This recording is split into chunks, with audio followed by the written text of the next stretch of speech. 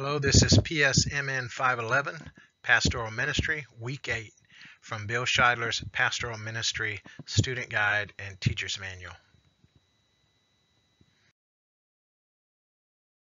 This is lessons 13 and 14 on water baptism and communion.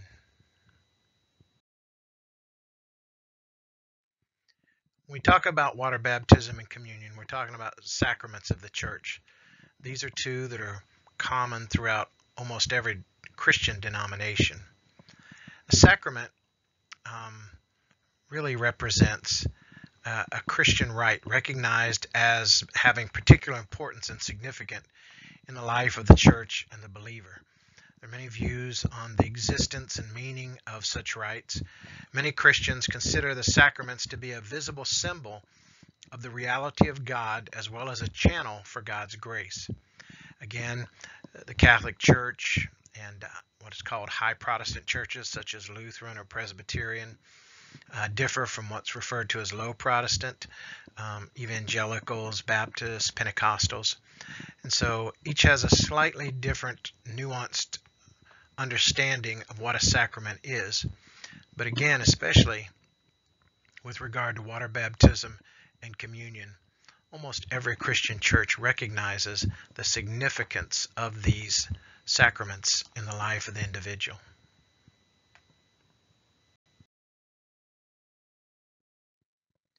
Water baptism is a powerful visual symbol of a convert's confession of faith. The word baptize is from the Greek word uh, baptizo, which literally means I dip or I submerge but specifically with respect to a ceremonial dipping, uh, meaning I baptize. Um, this was a practice that was not unique to the Christian church.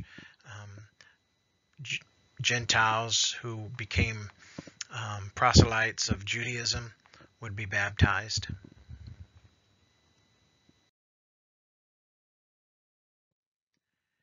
Jesus himself was baptized by John the Baptist according to Jesus' own words, in order to fulfill all righteousness. And uh, in many respects, Jesus is symbolic of, of believers and is fulfilling uh, for us and as an example for us to follow uh, that cleansing that comes really through his blood, symbolized through the water.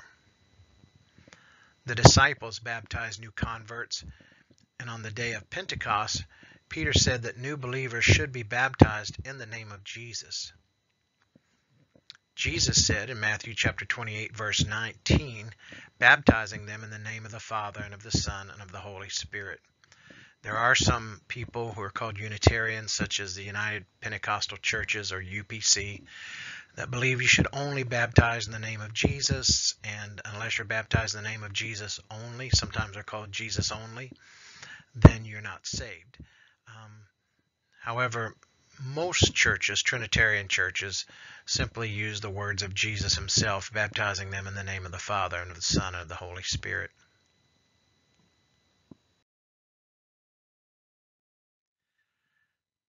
Think about the pastor's role in baptizing new converts. This particular class is called Pastoral Ministry, and so it deals with the practical applications of exercising the pastoral role and responsibilities. And so this lesson is very practical with respect to water baptism. And so first of all, we think about the place of baptism, where someone will be baptized. I grew up in a country church and we would go down to the creek. We would stand on the shore, the church would sing, and we would be baptized in the creek. Of course, when it was cold out in the wintertime, we couldn't baptize. And so the people would wait until it was warm enough. But there must be an adequate amount of water to baptize if the practice of your church is to baptize by immersion. And uh, so some denominations uh, don't practice immersion, they sprinkle. The Catholic Church does, and other uh, high Protestant churches uh, do pouring or sprinkling as an alternative to immersion.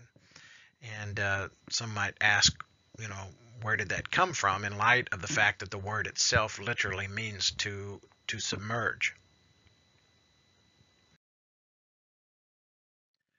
We know very early in the teaching of the church that this practice of pouring or sprinkling water was allowed when there was not sufficient amount of water available uh, to immerse a person. And in a very in some of the areas where it was very arid uh, desert areas, this this could be a legitimate issue. So the Didache is the earliest Christian document in the genre of what's called church orders. Um, it's written as early, parts of it as early as AD 49, 50. That's as early as some of the earliest uh, writings in the New Testament. And uh, they believe some of this goes back actually to uh, have apostolic origins. Uh, the final, there's only one extant or complete manuscript that survived, and they believe it was probably completed, uh, the Didache itself, by 150 by AD 150 or, or earlier. So it was a very early document. What is the Didache? Well, the word Didache is from the Greek meaning the teaching. And it was teachings of, of the church. It's divided into three sections.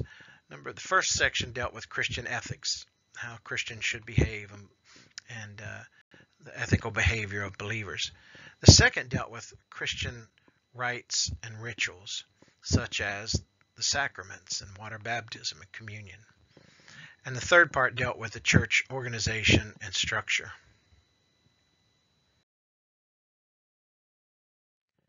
Bring this up because with respect to um, pouring or sprinkling as opposed to immersion, this actually is found very early in this document, the Didache indicates that the preference is for the convert to be immersed. But if there's not adequate water available, then the water could be poured upon the convert in the name of the Father, the Son, and the Holy Spirit. So even in this very early document, you have an indication of the Trinitarian, uh, as we call it, formula for baptism. And the preference is for living water. Uh, and by living water, it's referring to like a stream, a creek, a river. And uh, I think the video, I um, there's a video at that link there. It's called reformedforum.org, Baptism in the Didache. And uh, for those who are from the Reformed tradition, and of course, Reformed University embraces this, there's some good instruction there at this particular site.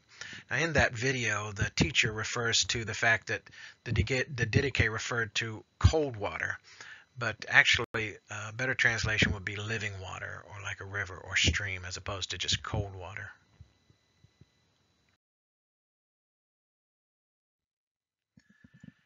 Let's think about the pastor's role. You have to have adequate water. The water, this is common sense. Water should be clean and fresh, should be reasonable temperature, should be easily accessible, and it should be a place that's usable year round. Our church has a baptismal. Uh, the way ours works, it accommodates one person who goes into the water, and the pastor stands on the outside, actually, reaches over the side and does the water baptism. We have a heater, so the water's not uh, exceptionally cold or hot. We try to get it at the right temperature. Make sure that the water's clean. It's fresh water each time um, that we have a baptismal service, although we may have several people baptized in the same water. I was at a church in Washington, D.C., and we had a major baptism. We baptized over 30 people, and it was the exact same kind of baptismal I have here, where only one person can go in at a time. And uh, honestly, the water was getting a little dirty uh, from from that many people being baptized, but nobody seemed to care.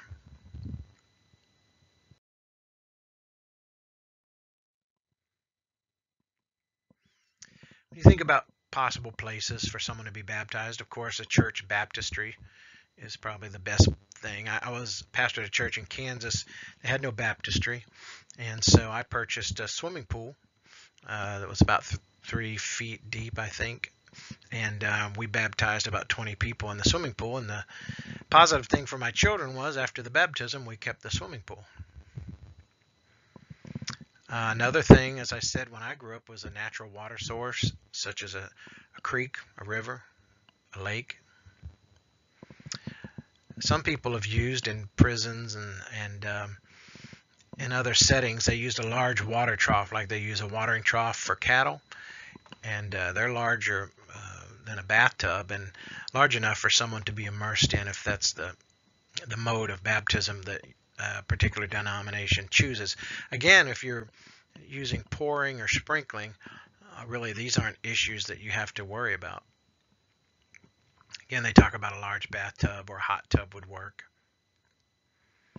And it should be accessible for members of the congregation to witness the baptism. This is a public confession of faith, and so there should be people there to actually see it, to witness it, and to celebrate with the new convert.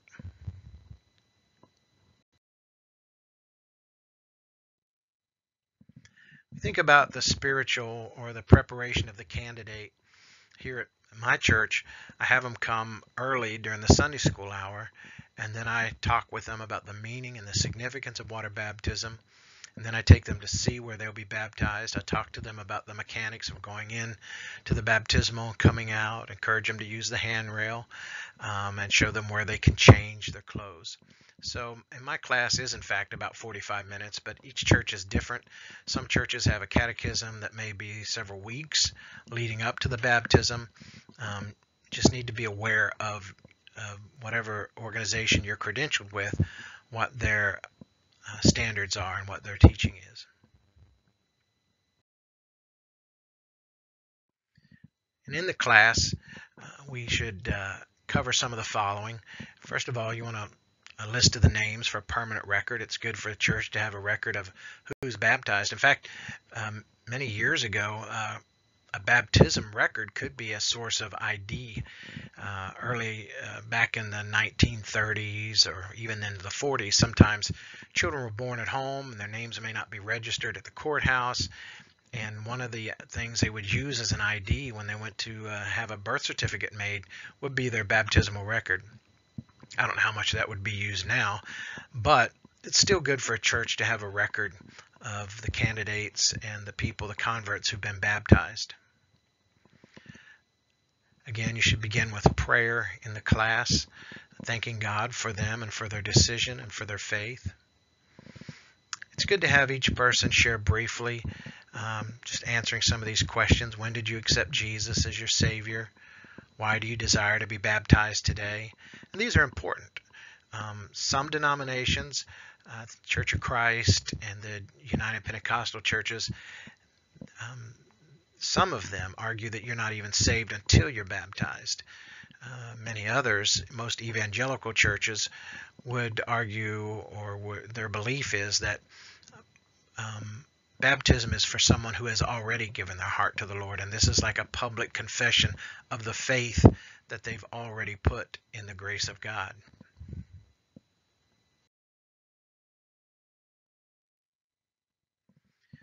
Again, for this class, you want to share some basic teaching concerning baptism, include why we should be baptized and what to expect. And in uh, in Scheidler's um, student guide, he has a extensive example of what his class and what his teaching covers.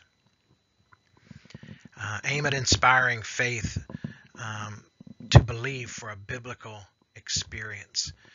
We don't want it just to be mechanical. There should be something weighty and significant about the experience. should be the teaching should be simple and clear. You don't want to get too heavy into theology with a new convert at this point, but it should be clear to them that Jesus instructed us to do it, that Apostle Peter instructed the new believers to do it, and that it is a powerful um, symbol of, especially immersion, of one's death uh, to the old self and to sin, and coming up out of the water as a resurrection unto new life. So immersion is a very powerful symbol of of salvation. Should emphasize the truths found in Romans chapter 6 such as dying to sin, living for God.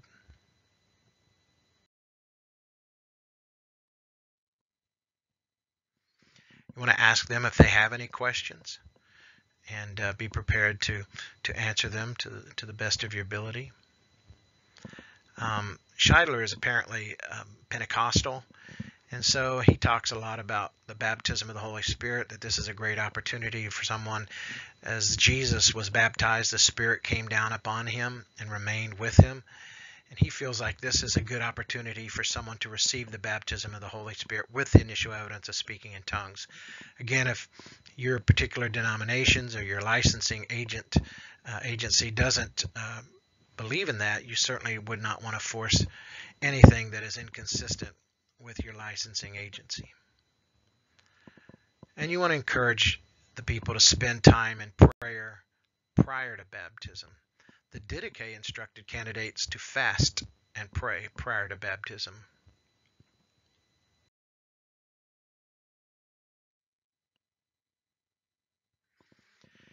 In terms of just the, the logistical things, let them know how to dress. Um, it's important to understand when clothing gets wet, it can become see-through, which can be quite embarrassing. If your church has robes, that's good.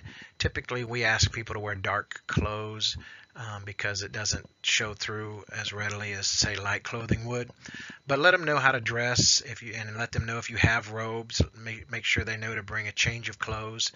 Uh, show them where they'll get ready to change and. Um, encourage them to bring a towel as well. But you might want to have some extra towels available in case they forget theirs. We actually, at one point, we haven't done it lately, we had towels embroidered with the church's name, and so we would actually give that as a gift uh, when they were baptized. And let them know what you'll be saying. I, I always read the scripture from Matthew chapter 28, verse 9, where Jesus said, baptizing in the name of the Father, Son, Holy Spirit. And then uh, you want to join the candidates prior to baptism for prayer. Pray with them.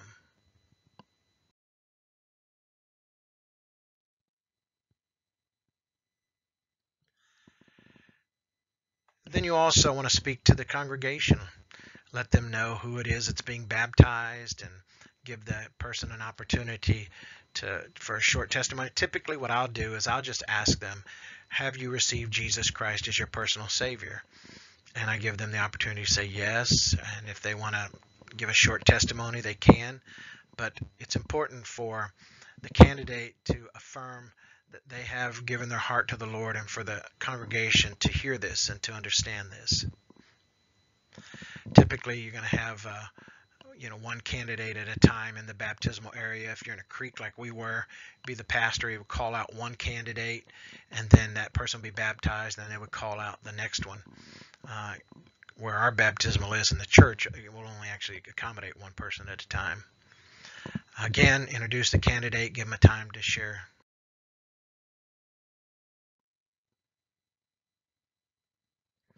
And then, of course, you baptize the candidate. If it's immersion, to take them under the water and back up, help them back up. And if it's pouring, to again to to do that in the manner that is consistent with your church's teaching. And as, again, you may have your church, your denomination may have its own baptismal formula. Um, but you might say something like, upon confession of your faith in Jesus Christ as your Lord and Savior, I baptize you in the name of the Father and of the Son and the Holy Spirit. Usually, I will say all of that prior to taking them under the water. I don't say it while they're under the water. I say it first. They go back and straight back up out of the water.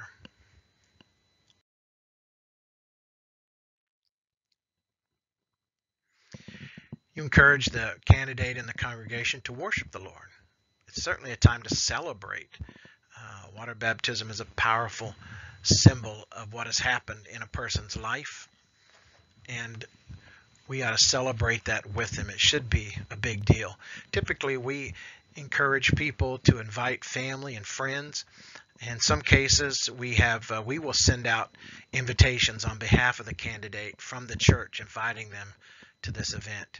It's a good opportunity to evangelize. And then before you dismiss candidates, you want to pray uh, with them and encourage them to grow in grace and in faith. This isn't the end of a journey, it's really part of the beginning, the initial steps of being a disciple of Jesus Christ. Now, with respect to children, again, your particular denomination may have its own uh, rules or policies doctrines concerning children. Uh, in in a, most evangelical churches, if a church if a child is old enough to articulate their faith in Jesus Christ for the forgiveness of their sins, you know, we just follow the uh, admonition of Jesus to suffer the little children to come unto me, for such is the kingdom of heaven. So, in our group, we would not baptize infants, but we would baptize children. Some groups will water baptize by sprinkling or pouring infants. Um, other groups will not baptize a child that's younger than 13. And I had actually some people in uh, in my church once where I baptized a ch- uh, child that was I don't know 10 or 11 years old, but they expressed that they had asked Jesus to come into their heart to forgive them of their sins, and they wanted to be baptized, and so we did it. But these people came from a culture from another country actually where they did not baptize children younger than 13, and so they were offended. And uh, you know you're just going to have to make a decision about that and make it clear to the church what what your teachings are and why.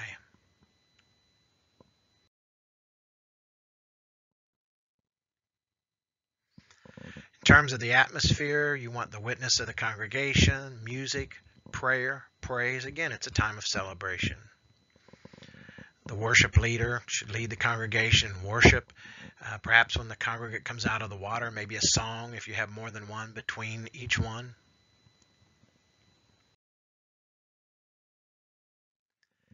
And again, in terms of the class, what a class might look like for water baptism, uh, Bill Scheidler has an example of the one that they use at his church. And you might want to refer to that and maybe structure something similar to that. Uh, or again, always consult with your own denominational uh, teachings and doctrines. Another significant sacrament is communion. Communion is also called the Lord's Supper, the Eucharist, which means giving thanks, the table of the Lord, breaking bread, sacrament. The elements of communion are variously called bread and wine, the body and the blood of Christ.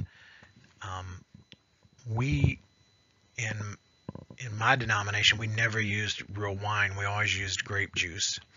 In fact, in the uh, accounts of of the of the Lord's Supper the Last Supper, they never use the word wine. They talk about the cup. Uh, most people understand that it was wine, but um, I mean, technically, it never actually calls it wine. But um, some churches they use uh, real wine. We actually, at one point, we use these pre-sealed um, cups, communion cups. So you have the cup with the wine, and then sealed over it is the wafer. And so you hand those out.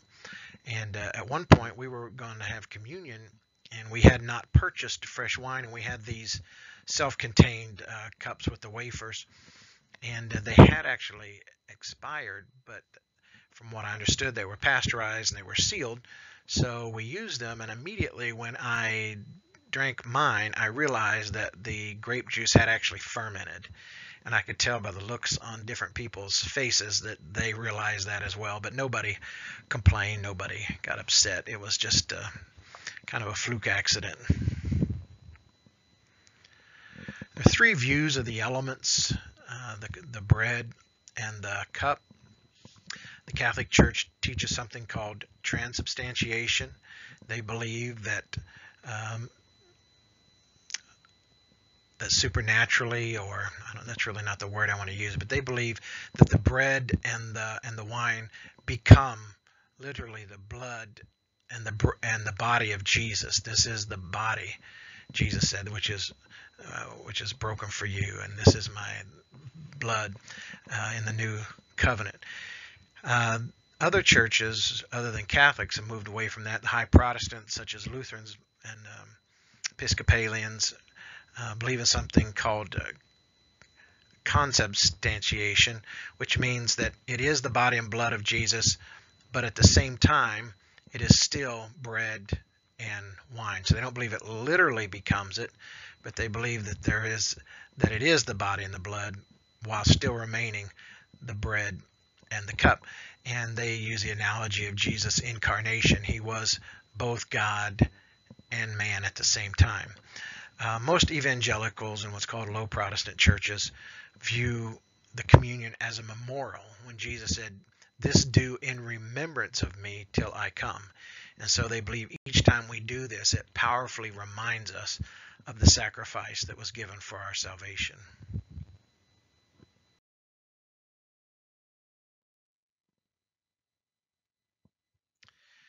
We want to lay the right foundation for communion so people understand the significance of it. You can do that, of course, uh, briefly each time, but on an ongoing basis in classes, Sunday school classes, Bible studies, maybe a sermon occasionally that deals with it, uh, regular teaching on communion and, and the significance of it.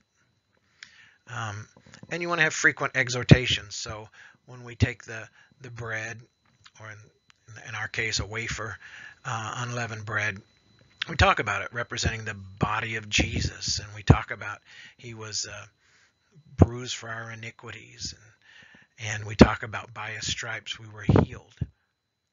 Um, you also want to have the attendants. If you pass these elements out, you want to have them prepared. I knew a church in, uh, I think it was Lexington, Kentucky, a church of 20,000, and they had communion every Sunday. And now we do it quarterly, so every three months, first Sunday of the month, we will have a communion service. This church of 20,000 did it every Sunday, and I was talking to some of their members, and I was like, How do you do that logistically? And they had on the backs of their pews those little uh, cup holders, and so they used those prepackaged uh, cups with wafers that I talked about. And so at a point in the service, the uh, pastor would pause and say, At this time, we're going to observe communion. And um, and he would, you know, talk them through it. It probably took maybe 10 minutes of the service, and then they would put the used cup and, you know, push the paper back into the cup and set it back into that little holder in the pew. And they had multiple services, so they had ushers that were just had practice doing this, and they would go through and they would take out the uh, used cups and put in the new, and uh, turn over the service in just a matter of minutes. So they were um, quite uh, experienced in doing it that way, but different churches have different um, frequencies. The Bible really doesn't tell us how often. He just said, as often as you do this, do it in remembrance of me. But you need to have the attendants prepared if you pass it out in the communion trays, as we do sometimes. Other times we put it uh, at the front of the church uh, on a table, a communion table, and the people actually come up and take it themselves, and then they will stand there at the altar and will partake together.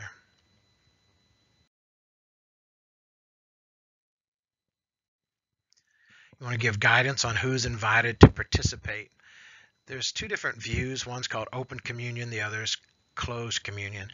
Open communion, such as we have, would be we would allow anybody who um, has confessed faith in Jesus Christ, and we you know we have to take them at their word when they do that uh, to participate in the communion service. Other churches will only allow their members, their own members, to participate in the communion service. So again, you want to refer to your own denominational guidelines.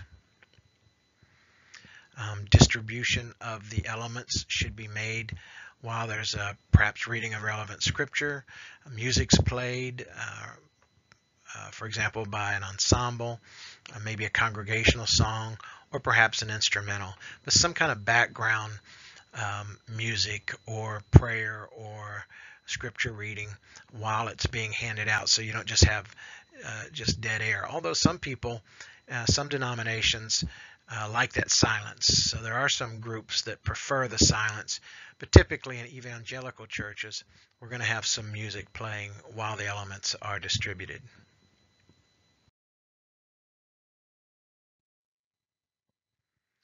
Prayer should be offered as blessing over each of the elements. So uh, typically I would read the verse of scripture, usually from Corinthians, where Paul writes about it, and we read about the, the bread and then we partake together and pray, and then we read about the cup, and then we partake and pray. The congregation should partake together, following Jesus' pattern of the bread first and the cup second. And communion should be followed by another song or congregational worship, again, depending upon your own tradition. And then the cups, if you don't have the, the receptacle in the backs of the pews, um, we have uh, small uh, waste baskets that are passed down the rows uh, of pews for people to um, collect those in. Unfortunately, grape juice stains uh, bad. We have light carpeting and pews, and inevitably someone is spilling it. And so it's just one of the hazards, I guess, of, of having it that way. But um, it is what it is. You have to just do what's going to work best for your particular setting.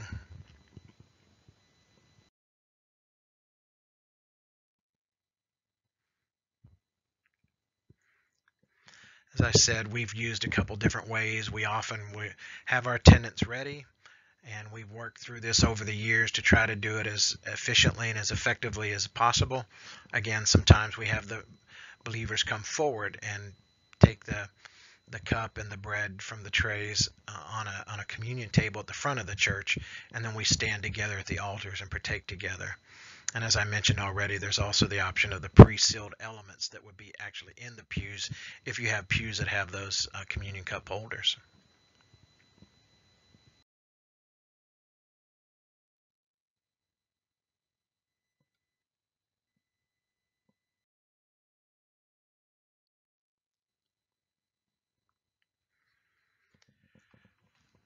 Another thing that uh, has come up lately, so with the COVID, we had people at home, we have people watching online. So what I do the week before is I inform the the people who may be watching online that we will be observing communion in the next service, and I encourage them to have already available uh, some unleavened bread, such as uh, uh, crackers or something like that, and some uh, grape juice prepared so that when we partake, they can partake with us. So they can do that from home. You can also get little like travel communion kits to take to the hospital or to shut-ins at home or nursing homes and observe the communion with members in that fashion as well. Scheidler gives some specific examples from his church, City Life Church. You need to make sure people know the time of the service. You want to let them know ahead of time that you're going to be having it. Um, uh, the exhortation in terms of how you're going to uh, to to share with people the meaning of it. You want to have all that prepared uh, in the partaking. Again, starting with the bread, proceeding to the cup, and then con- a concluding prayer, and um, and receiving the used cups.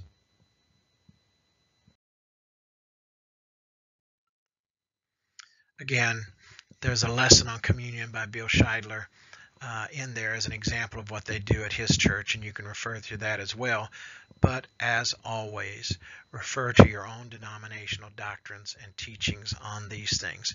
These are some practical things that pastors need to be aware of and prepared for when they are um, helping their congregants observe these sacraments of water baptism and communion. These are significant things in the life of the church and should be significant in the life of individual members. And so a pastor should should uh, put emphasis on it and, and give it a sense of importance uh, when participating on these with his members.